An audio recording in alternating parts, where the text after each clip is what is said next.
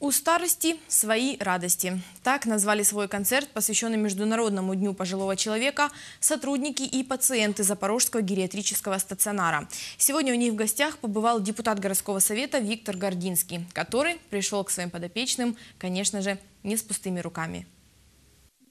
По статистике, каждый пятый украинец – человек преклонного возраста. Шестая часть из них – одинокие люди.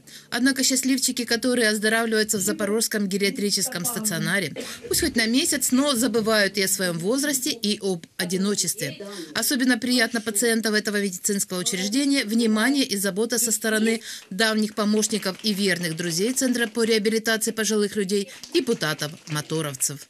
Традиционно в День пожилого человека – от э, депутатского корпуса предприятия «Моторсич» я пришел поздравить всех э, отдыхающих в гериатрическом стационаре с этим замечательным праздником. Подарить им немножко тепла, э, внимания, посмотреть, в каких условиях они здесь проводят время, все ли им нравится. Ну и, конечно же, моторовские депутаты пришли с подарками, мы каждого поздравили, поблагодарили, пожелали крепкого здоровья, радости и больше улыбаться в жизни потому что улыбка спасет мир. Для нашего гериатрического стационара э, иметь таких помощников в нашей работе, как депутаты Молчанов, Гординский, представители Мотор Сечи, это, конечно, большая удача, потому что э, они постоянно приходят э, на помощь в наших трудных ситуациях и постоянно уделяют много знаков внимания и поддержки пожилым людям, которые находятся здесь на отдыхе.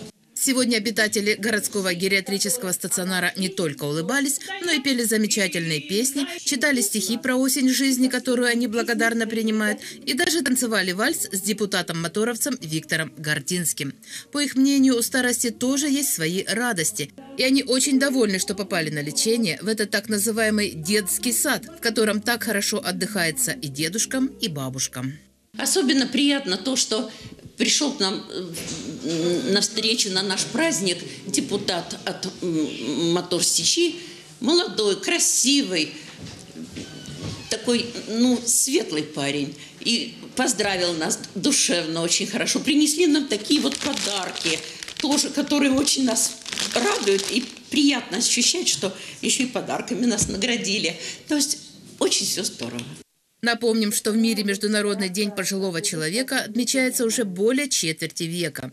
И поскольку старость, увы, неизбежна, правительство, медики и волонтеры общими усилиями стараются не только продлить жизнь людей, которые находятся на заслуженном отдыхе, но и сделать ее более качественной, полноценной и приносящей радость бытия.